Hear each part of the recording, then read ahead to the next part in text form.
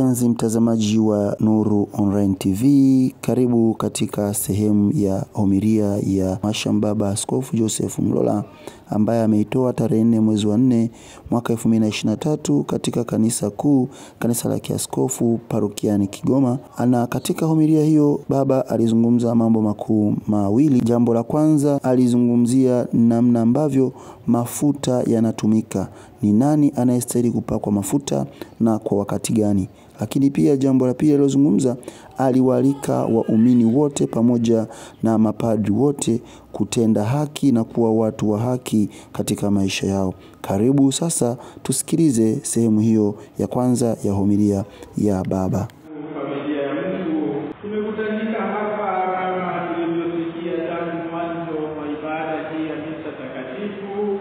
misa ya kubariki mafuta, na kama tulivyokumbushwa, kawaida misa hii ingeadhimishwa Alhamisi Kuu asubuhi au masaa ya asubuhi kabla ya kuingia katika adhimisho lile la karamu ya mwisho ya Bwana wetu Yesu Kristo.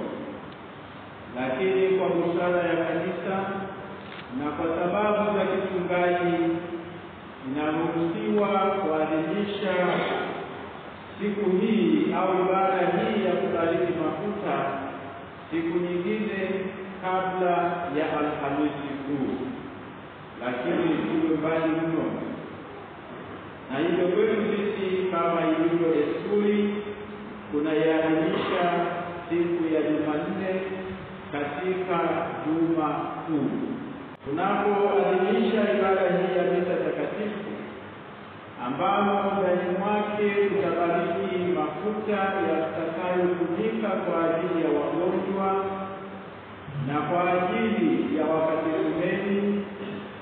na mwisho mafuta ya Krisma yatawekwa wakfu, mafuta ambayo yanatumika katika kuadhimisha sakramenti tatu: sakramenti ya ubatizo, mbatizwa anapakwa mafuta ya Krisma katika paji la uso, na katika sakramenti ya kipaimara vile vile anayeimarishwa anapakwa mafuta hayo katika paji la uso, na katika daraja takatifu, na hasa katika ngazi zile mbili, uaskofu, kunatumia mafuta hayo ya Krisma. Mapadre wanapakwa mafuta hayo katika viganja vyao vya mikono kwa ajili ya kutakatifuza, kwa ajili ya kubariki, na hivi mikono hiyo inakuwa kwa namna moja au nyingine, na yenyewe imewekwa wakfu kwa ajili ya maadhimisho ya matakatifu. Askofu anamiminiwa mafuta hayo ya Krisma kichwani na ngumo yanashuka,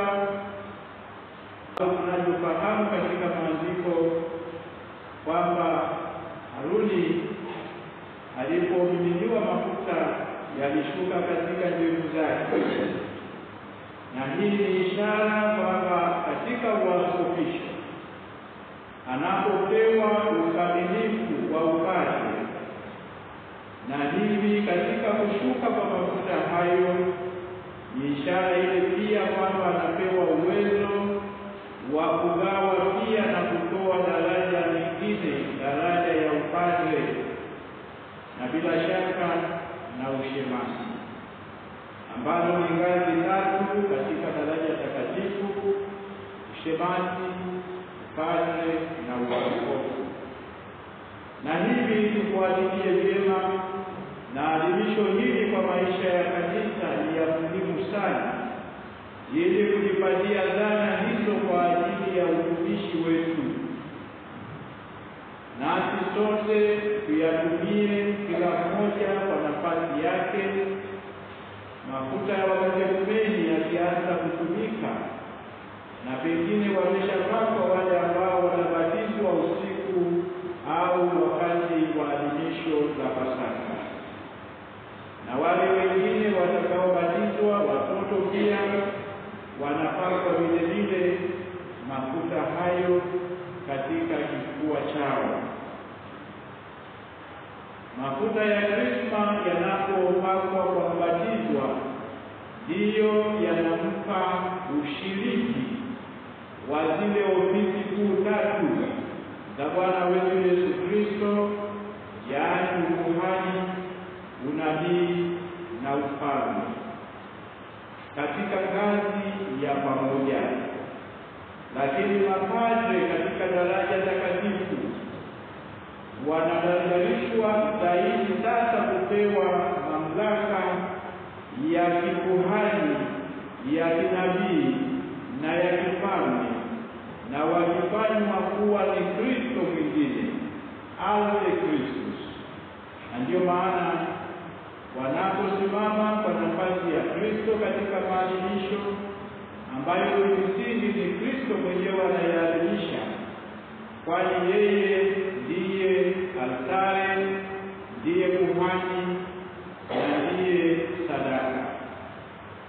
na hivi anaungamanisha na hayo katika kujitoa kikamilifu katika kuyaadhimisha hayo mafumbo ya kimungu, mafumbo ya kanisa. Waamini mnaalikwa na mnakumbushwa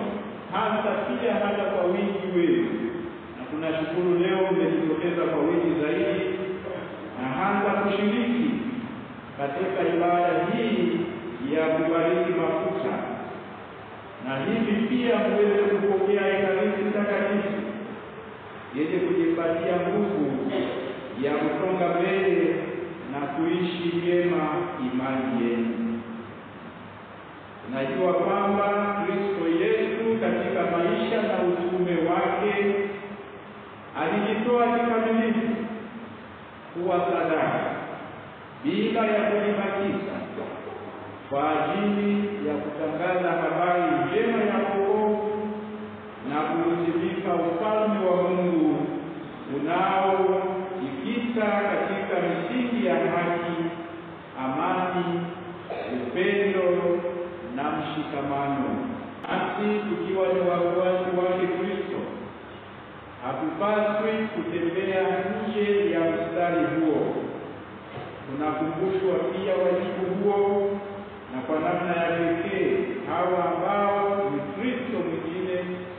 kutembea katika njia hiyo, kutangaza habari njema ya wokovu na kuusimika ufalme wa Mungu kwa mataifa yote,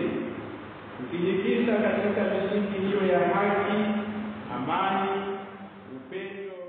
Asante sana, naamini kuna kitu umejifunza. Nachokuomba mpendwa mtazamaji na msikilizaji, usisahau kusubscribe, kulike, kushare na kucomment ili uwe wa kwanza kupata matukio mengine yanayorushwa katika chaneli hii.